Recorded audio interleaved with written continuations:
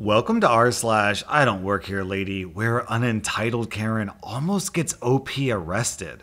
I got stopped at Target yesterday due to the color of shirt I was wearing, except it wasn't red. Oh no, that's too easy. So I stopped at the local Bontage before picking up a child from school because, well, shopping is easy without a 7 year old in tow, but I digress. I needed to grab a few things, and as I'm browsing the epidermis cleansing gelatin, two guys between the ages of 18 to 30 walked up to me and got my attention. Hey man, you think you could help us out real quick? Me, about to sniff the Elder Spice gel? Uh, I guess? So my Honda's making a funky noise and the muffler sounds like it needs tightening.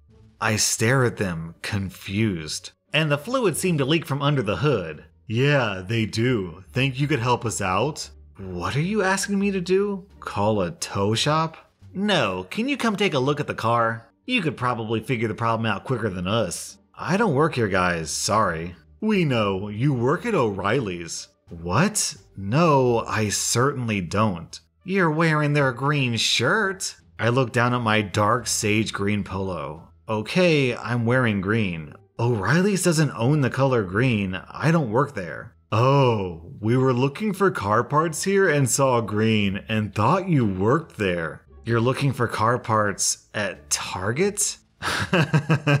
they both just stare at me like I just asked why water was wet. As the silence became awkward, I pulled out my phone and brought up maps. There's an auto zone two blocks away. Go there and ask for help. They thank me disappointingly and shuffle off. I bought my cleansing supplies and left. Not exactly on the edge of my seat level excitement, but I thought it was kinda funny. Down in the comments, Cape and Sigriyena says, kinda creepy. Makes me think they just wanted to get you alone outside and it was a ploy. Then Marcus Lukimas says, that nearly happened to me. There were these two women that spoke broken English asking me for a jump outside a Jack in the Box. I didn't feel comfortable with the situation and lied and said I didn't have the cables. After I placed my order, I saw them drive their car off without anyone having jumped in their car. Our next Reddit post is from I'm Not Myself. I was in Best Buy picking up some software. I do independent IT work. I wasn't wearing a blue shirt, but the racks were a mess, so I was going through the boxes looking for the one I wanted. This older guy, I'm an older guy myself, comes to me with a popular antivirus program and starts telling me his situation and wants to know if this is the best product for him.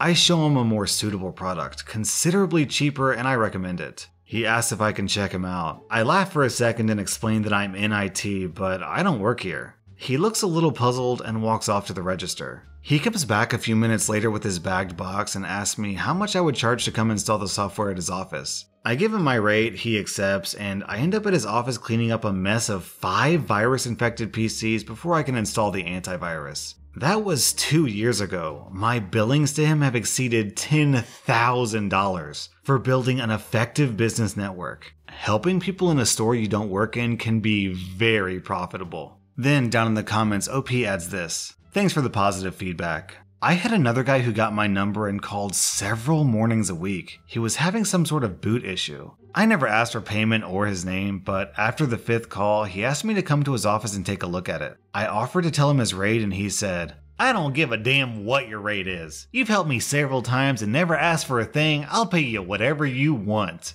That turned into a very lucrative multi years business relationship, plus the many referrals he gave to me. I do volunteer business coaching. I always preach to people that if you solve problems first and worry about getting paid last, you'll have all the paid work you can handle. Our next Reddit post is from Flex 2019. I'm a plumber and I'm only 18. I went to trade school for high school and came out with a full time job as an apprentice. This happened about five months ago and has had me screwed up ever since. I was working in a four story building inside the city, and there's only one elevator, which we weren't allowed to use because of the companies that worked in the building itself. And then only one spiral square staircase, needed for later. My journeyman and I were wrapping up our day and packing up everything. As the younger guy, I was sweeping and taking the loads back down to the truck to get ready to leave. And on one of my last trips, I was only taking a trash bag and a few of the hand tools I hadn't grabbed yet. I'm in my normal work clothes, but my boss isn't strict about wearing company clothes, so I'm only wearing my Dickies pants and beat up sweatshirt with no labels. I start walking down the stairs with the trash from the fourth floor to the bottom when a worker from the third floor walked out with a trash bag. I briefly walked past, just finishing my day when she scoffed at me. Me, being the kid I am, turn around and say, I'm sorry, I didn't see you there. I didn't mean to bump into you. And continue down, and then she said, Here, take this garbage. I got a call I need to get on. I said that I was sorry and I didn't work for the building and it's not my job to take it. So she then exclaims, You're dressed as a janitor. My son is one too. You dress just like him. He has the same tools on him all day. I tried to tell her that I didn't, and that I'm a plumber working above her on the fourth floor. In retrospect, yes, I could have taken it, but there wasn't one of those giant trash bins to put trash in, so we had to take it back to shop to dispose of, and we didn't have much room for it in the van. I started to get annoyed, but I just remembered that I needed to take breaths and walk away. I start going down the stairs when she grabs the back of my hoodie and yanked it. I spun around like, what the hell? And she slammed the bag into my stomach, sending me stumbling down the stairs. This was when one of the coworkers comes out because of the commotion and she starts fake crying, saying I sexually harassed her and that she shoved me down the stairs in an attempt to save herself. I tried to say something getting up, but the guy was on the phone with the cops already and he took her away to calm her down. I started to get so mad at this woman, but my coworker came to me and said everything would be fine. This is when the biggest blessings ever occurred. My buddy loves to mess with me. He'd take videos of me working or being oblivious and he'd throw like coins at me to be funny or dump water on me just as a joke to lighten the day up a bit. Well, he recorded the interaction and the lady never knew he was there. That's the reason why the spiral staircase was important. By the time he made sure I was alright, the cops were there about 10 minutes after the whole thing went down. They talk to the woman and they take her side of things first. They start questioning me in the stairwell, and my buddy said he witnessed it and had a video. He began to show the video to the cops of literally everything. From the moment I began down the stairs and past this lady to her shoving me down the stairs. He talks to her, and from the second he said there was a video, she turned ghost white. They took her downstairs to the cruiser, and the cop came back to me asking if I needed assistance or an ambulance, as I had a gash on my elbow when I stumbled down, but I was totally fine though. Just in complete shock.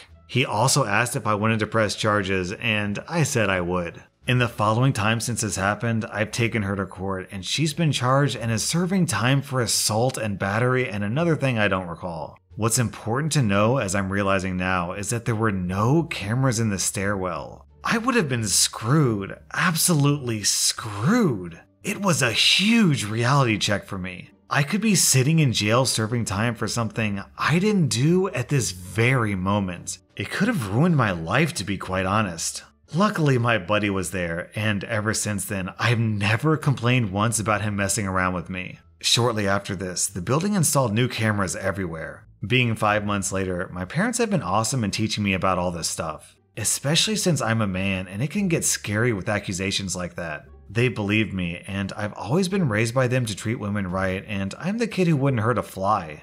OP, I'm glad you pressed charges. There's too many people in these stories who get away scot free. And more importantly, does your buddy still have that video? Because I would love to get it from him.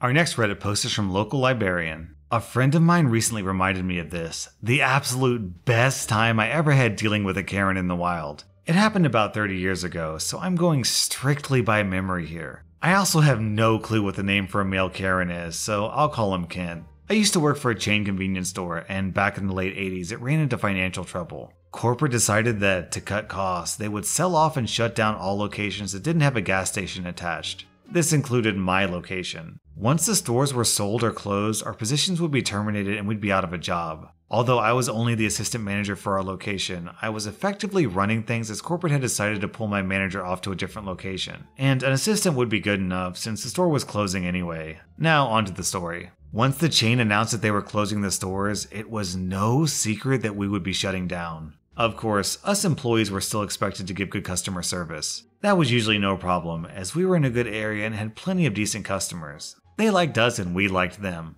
But at the same time, we had no flips to give for the occasional Karen. It was nice being able to shut them down. What were they gonna do? Fire us? I wish I could remember specific instances, but 30 years, they all kind of run together now. The most entitled of all, though, was Ken. Turns out he'd bought our location from the chain and would be taking over in about a month and a half. During that time, I was working with hit honcho guys from corporate, doing things at the store level for the sale. Meanwhile, Ken came in a few times a week, demanding that certain things be done as if he already owned the place. He wanted us to change displays, order specific products, etc. Hid honcho guys had already told me to ignore his demands, so all of them were met with some variation of no Ken. I work for Chain, not you. And this isn't your store yet. Which sent Ken off in all his huffing glory, yelling that I wouldn't be acting like that once he ran the place. Fast forward to the final day. All the other employees had worked their last shifts, and as acting manager, I opened the store that morning. Hit honcho guys arrived to go through whatever they needed, and shortly before noon, Ken showed up. Ken and Hit honcho guys went in the back, and once they came back out, we closed the store in order to finalize everything. Hit honcho guys and I cashed out the register for the last time, and most importantly, I turned over my key to the store. Once that was done, something close to the following happened.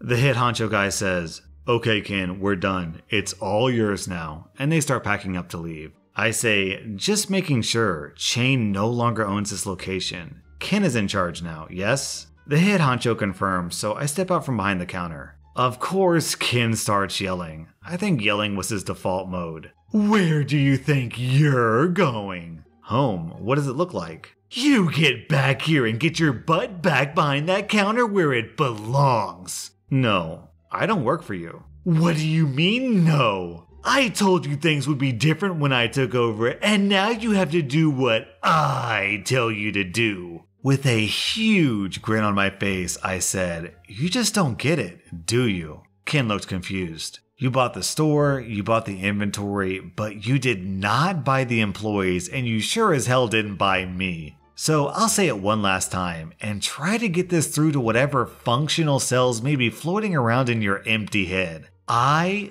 don't work for you. Never have, never will. And since chain store number whatever no longer exists, I don't work there anymore either. Since I'm no longer needed here, I nod to the head honcho guys. I'm leaving. Ken starts sputtering and yelling incoherently, realizing he now has nobody to work the register as I walk to the doors for my last time. Of course, I can't help myself. As I'm pushing the door open, I turn around and give Ken my best customer service smile and a cheery, have a nice day. If I recall correctly, the store didn't open again for a couple of days, at least, while Ken tried to hire some employees. But anyone from the neighborhood who had seen him treating us so badly before the sale wanted nothing to do with him, and even once it reopened, it didn't last long. Our next Reddit post is from Miser Lou. I'm a guy just about 17 years old, and I was at a giant eagle with my dad just now. In my state, masks are required in public, as is a minimum of 6 feet distance, and yes, I followed all the rules. My father was ringing up our groceries and I was bagging them, so there was enough distance between us that I guess to this Karen, it looked like I worked there. But it should be noted that I was wearing a Jaws shirt and literal swim trunks. Nothing even close to resembling a uniform? So I'm bagging up the goods, and I hear someone say something behind me, but the voice is way too close. I turn around and there she is, a middle aged Karen, a mere one foot away from me, if that. But she's wearing a mask, looking right into my eyes. I freeze for a second because being autistic and having social anxiety, eye contact is a big no for me, so I quickly look away. I'm confused, so I say, What? Not with attitude or anything, just pure confusion. Karen huffs and rolls her eyes and snaps. Oh my god, I said, Where is this product? It hits me that she thinks I work there. Now, like I said, I'm in flight or fight mode, so I can't really formulate a response. I happened to watch Impractical Jokers the movie last night, so the first thing that comes to my mind is up your button to the left. So I say it. Not with attitude, I just sort of simply state it. Karen gasps, says something along the lines of, How dare you? and storms away. Luckily, my dad got a good laugh out of it and isn't mad at all, as this lady did act very out of line. Our next Reddit post is from Serene Phoenix. This is what I get for going to the store instead of ordering groceries to be delivered. So, with the corona stuff going on, I've been dutifully staying in my department, like a decent human being, and limiting any time I spend outside. Unfortunately, this has been hell on my partner's mental health, and the depression is real. So, I decided screw it. We're both food boys and he likes cookies. There's a giant the next block over. So I get dressed, put on my sweet Disney mask, go on Etsy, the designs are wonderful, and head out to get my partner some cookies. Now, for reference, my style is hobo chic. So, sweats, sneakers, graphic tee, and a hoodie. Keep that in mind. I go into Giant and head for the cookie aisle. I'm considering if I want to do Oreos or if I want to be fancy and get Pepperidge Farm. These are important questions of life. When an older woman who is very short asks if I can grab something for her off the top shelf. Of course, I say yes because she was nice enough to ask. I'm a simple guy. I hand her the item and go back to my contemplation. As I decide to get them both, I hear the ahem I've worked retail and food service, so I know the sound of a wild Karen when I hear one. What's up? What's up? Is that how you treat? I have zero in the way of patience. Ma'am, ma'am, I'm gonna need you to look at me and try that line of thinking again. Who the F? Hey, hey, hey, uh uh-uh. uh. Let me tell you what we're not gonna do. I need you to calm down and chill. I know you know better. Karen still looks mad, but doesn't say anything. Now, I can help you find an employee if you want, but what you will not do is yell at me. I'm only here to get cookies. I point at my stomach. I'm a thick boy. Not that I need them. Karen cracks a smile. Gotcha. But at this point, I'm committed to this. I didn't choose thick life, it chose me. Karen starts to crack and laughs a little before all of a sudden starts to tear up. I'm six feet tall, 300 pounds, and black. A crying Karen is a bit detrimental to my continued freedom. Um, you okay? Yeah, it's just that this is the first time I've laughed in a while. My husband is in the hospital. The virus? Yeah. I'm not sure if it means much coming from the cookie guy, but I hope he recovers. Karen smiled and walked away. While she didn't apologize for popping off, I'm glad it didn't escalate further. That was r slash I don't work here lady, and if you like this video, then let me know by hitting that like button because it really helps my channel grow.